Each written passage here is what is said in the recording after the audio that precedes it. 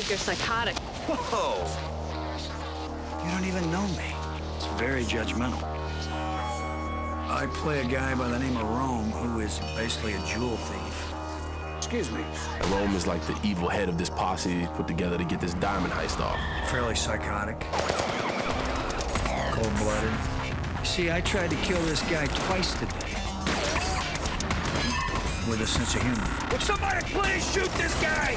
What does it look like we're doing? Missing. So he's sort of a charming bad guy. I'm a fan of a lot of his stuff. I got Copland, I got Terminator 2. We did awesome work for The Sopranos. Thank you.